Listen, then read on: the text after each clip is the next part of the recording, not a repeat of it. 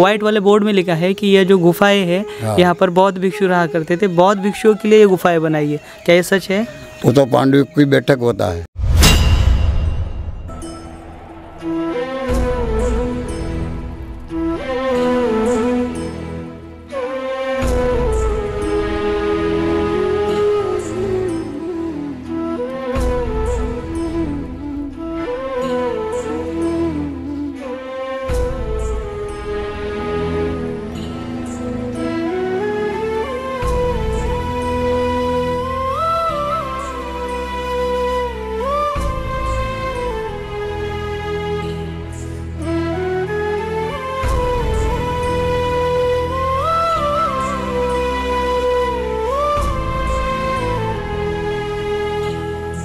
सदियाँ बीत गई है, लेकिन सभ्यता वहीं पर है। समय बीत गया है, लेकिन राह वहीं पर है। जय भीम, नमो बुद्धाय। आप सभी का स्वागत है आपके चहते चैनल पर, जिसका नाम है बोधिसत्व। इस बोधिसत्व यूट्यूब चैनल के माध्यम से आप प्राचीन भारत का इतिहास देख रहे हो। हम आए हुए हैं गुजरात में।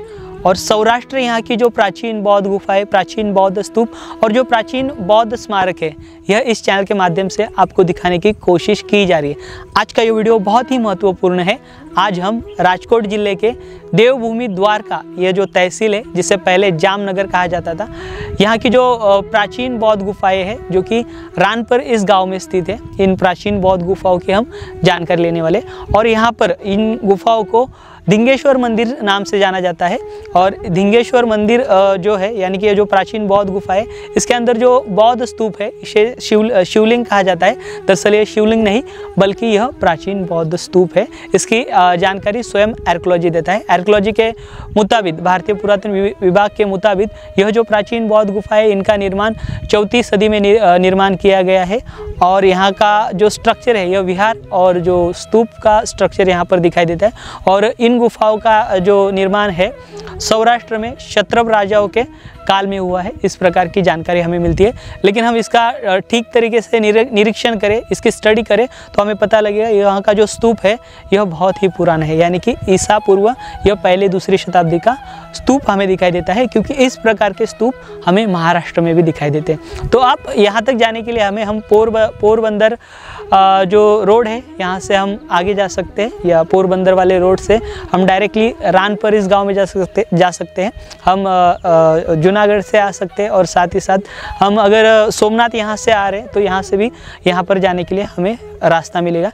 रानपर यह जो गाँव है, इसका जो वीडियो लोकेशन है लिंक में आपको दिया गया है इन प्राचीन बौद्ध गुफाओं का। तो इससे आप इस स्थल तक पहुँच सकते हो। अगर आप यहाँ यहाँ के नियर बाय हो या फिर अथवा आप आना चाहते हो। तो चलिए, आज का यह वीडियो हम शुरू करते हैं। यह वीडियो शुरू करने से पहले आपसे अनुरोध है, इस वीडियो को आप ज़्यादा से ज़्यादा शेयर करें, ताकि यह जो महत्वपूर्ण जानकारी है, हमारे सभी भाइयों के भाइयों को पता चले। तो चलिए, आज का यह वीडियो हम शुरू करते हैं। सौराष्ट्र की बात की जाए तो सारे देश में महाराष्ट्र के बाद सबसे अधिक प्राचीन बौद्ध गुफाओं का निर्माण यही हुआ है।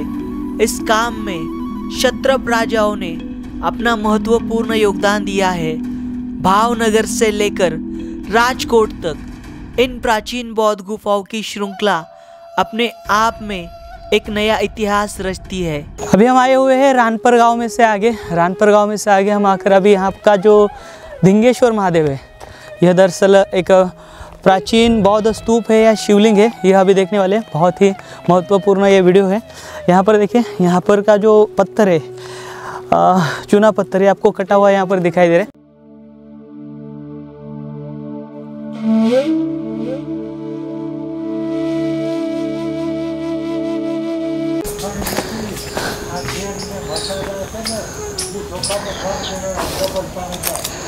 यह देखिए, एक गुफा है। यहाँ पर ये विहार टाइप की गुफा है, आप देख पा रहे हो। अभी थोड़ा अंधे, अंधेरा हुआ है। शाम का समय है इस कारण तो देखिए, इस प्रकार से चलिए आगे, आइए। यहाँ पर जो भारतीय पुरातन विभाग का बोर्ड है, इसमें साफ़ तौर पर यह लिखा है कि यह जो गुफाएँ है, यह बौद्ध गुफाएँ है। यहाँ पर पिलर दिखाई देते हैं और साथ ही साथ यहाँ की एक जो गुफा है जिसके अंदर लिंग है, दरअसल वह लिंग नहीं, बल्कि प्राचीन बौद्ध स्तूप है और साथ ही साथ यह जो प्राचीन बौद्ध गुफाएँ हैं, इनका निर्माण क्षत्रपों के काल में हुआ है। यहाँ पर भारतीय पुरातन विभाग कहता है और यहाँ पर एक दूसरा बोर्ड है। दूसरा बोर्ड, यह जो ऐतिहासिक वास्तु है, इस ऐतिहासिक वास्तु को संरक्षित स्मारक का दर्जा मिला है। इसका यह बोर्ड है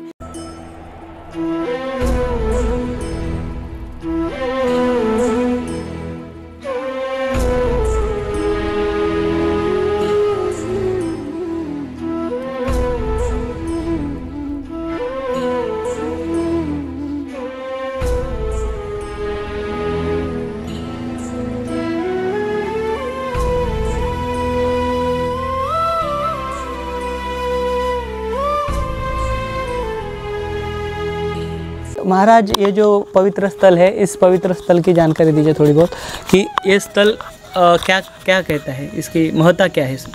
उसको वो पांडु का वक़्त का बोलता है। हम्म, उसका नाम जूना पुरानी है भीमेश्वर। भीमेश्वर। आदि बोलता है धिंगेश्वर। धिंगेश्वर। उत्तर दिशा का मंदिर ओछा होता है। हम्म, ये उत्तर दिशा का मंदिर होता है। अच्छा। और यहाँ पर कौन से भगवान आए थे? वो दत्त भगवान है विष्णु भगवान है माता जी। है गणेश जी है जी। और वो हनुमान है। जी। और वो वहाँ पर भारतीय पुरातन विभाग का बोर्ड लगाया गया है उसके बारे में थोड़ी जानकारी दीजिए। वो तो पुरानी वो सब भोईरा जाजा होता है। हाँ। तो इतना ज़रिया है सब खत्म हो गया खान में।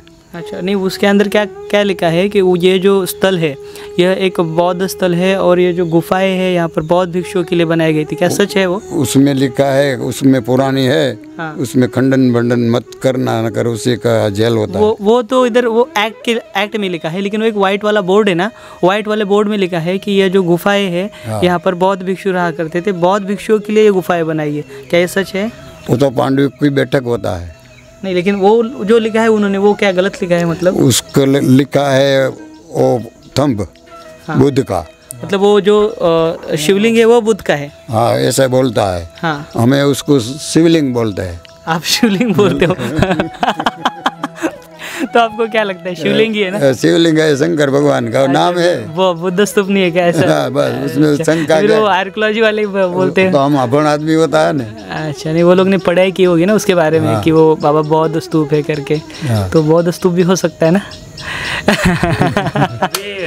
आप ये पूछिए आप ये बाबा जी बता रहे हैं क्या? कि यहाँ पर जो विहार है उसके आगे सामने भी और छः विहार हाँ। और छः थे हाँ क्या जू- जूना આગળ હતા था अभी नहीं है क्या अभी नहीं है हमारी हाजरी में होता है ऐसा महल अच्छा ये बाबा कह रहे हैं यहाँ पर कुछ ही दूरी पर ऐसे छह नीचे आपको आ, गुफाएं दिखाए आ, एक गुफा दिखे आपको जो कि विहार स्ट्रक्चर है इस प्रकार के छह है यहाँ हाँ अच्छा होता है छह था अभी वो उसका नाश हो वो गया नष्ट हो गया है अभी फिलहाल यहाँ पर जो इतना हाजर है किस तरह से उसका नष्ट हो गया? वो तो पत्थर काटने वाला काटता है नष्ट हो गया। अच्छा यहाँ पर जो इलीगली जो पत्थर काटते हैं या फिर यहाँ पर जो चूना पत्थर है उसके जो ईंटाएँ बेची जाती है तो इसकी ईंटाएँ बनाकर लोगों ने यहाँ के बेच दी। ऐसे अच्छा तो ये बाबा ये ऐसे कह रहे तो देखिए यहाँ पर भारतीय पुरातन विभाग द्वारा यहाँ पर अभी संरक्षित किया गया जो कुछ उसको करेगा उसके ऊपर गुना दाखिल किया जाएगा केस दाखिल किया जाएगा। तो ये सार्वजनिक होता है। जी हाँ तो ये जो सब पब्लिक आता है जी, जी, किसी को मनाही नहीं होते। जी जी। हम खलडा नहीं करते हैं कोई बन हाँ हाँ हाँ। जगह पर जाता नहीं है। जी जी जी। कोई बंदिश नहीं है सबके लिए। हाँ। जी जी। तो यहाँ पर महाराज जी ने ये जो स्थल है इस स्थल की जानकारी दी है और ये जो बौद्ध स्तूप है जिसे शिवलिंग कहते हैं धिंगेश्वर महाराज जी का शिवलिंग। तो चलिए हम जानकारी लेते हैं इस प्राचीन बौद्ध स्तूप की। जिसे धिंगेश्वर महादेव कहते हैं, जिसे शिवलिंग कहते हैं, इस स्तूप की हम जानकारी लेते हैं। आइए, यहाँ पर हम एंट्री करेंगे। यहाँ पर बहुत बड़ा, ये देखिए, इतना बड़ा ये जो प्राचीन बौद्ध स्तूप है, यह हमें दिखाई देगा। इसे यहाँ पर सीमेंट सीमेंट लगाया गया है। सीमेंट लगाकर यह इसे आकार दिया गया है। बट ये जो आपको स्ट्रक्चर दिखाई दे रहा है, यह स्ट्रक्चर शिवलिंग का नहीं, बल्कि यह प्राचीन बौद्ध स्तूप का है। और ये जो आप पूरा एरिया देख पा रहे हो, यह चैत्य है।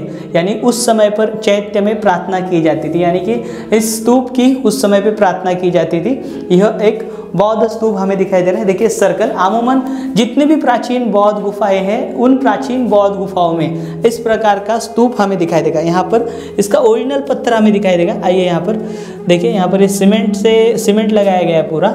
इसका ओरिजिनल पत्थर अंदर है। तो ये सीमेंट की चिकनाहट हमें ऊपर से दिखाई दे रही है। तो ये बनाया गया है उस प्रकार से। तो देखिए, ये अभी फ़िलहाल पूरी तरीके से कन्वर्ट किया है इसे। यहाँ पर जो पंडित जी है या फिर यहाँ के जो गाँव वाले हैं, इसे धिंगेश्वर महादेव करके पूजते हैं, इसकी पूजा करते हैं। परंतु यहाँ पर प्राचीन काल में बौद्ध भिक्षु रहा करते थे और वो यहाँ से बौद्ध धर्म का प्रचार प्रसार करते थे।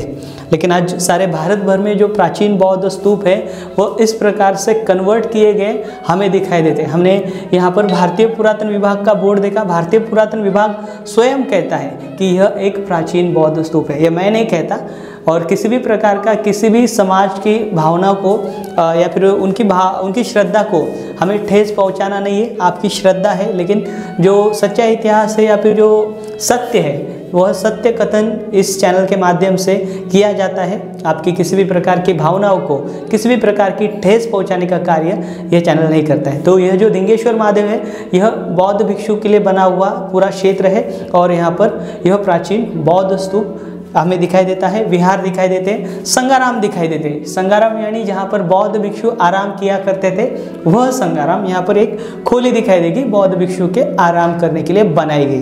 तो यह धिंगेश्वर महादेव हम देख रहे हैं, यहाँ का परिसर भी हम देखेंगे, शाम हो चुके हैं, इसकी वजह से थोड़ा अंधेरा छाया हुआ है, इस वजह से हम आपको लाइट में दिखा रहे हैं ताकि आपको अच्छे से यह चीज़ें दिख पाए कि किस प्रकार से सारे भारत भर में जो प्राचीन बौद्ध स्तूप है, उसे शिवलिंग या फिर लोग उसे शंकर का पिंड समझकर उसे पूछते हैं। तो साथियों, इसी प्रकार के वीडियो आप तक इस चैनल के माध्यम से आते रहेंगे। इसके लिए आप इस चैनल को सहयोग करें और इस चैनल के वीडियो जो है ज़्यादा से ज़्यादा शेयर करें। आशा करता हूँ आज का यह वीडियो आपको अच्छा लगा होगा। अगर यह वीडियो आपको अच्छा लगा हो तो इस वीडियो को आप ज़्यादा लाइक करें और साथ ही साथ आपके अभिप्राय इसके बारे में दीजिए, यह स्तूप के बारे में। और साथ ही साथ आप ये जो वीडियो है, ज़्यादा से ज़्यादा शेयर करें और साथ ही साथ इस चैनल को सब्सक्राइब ज़रूर करें। तो मिलेंगे अगले वीडियो के साथ, अगले जानकारी के साथ। तब तक आप अपना ख्याल रखिए। जय भीम, नमो बुद्धाय, जय भारत।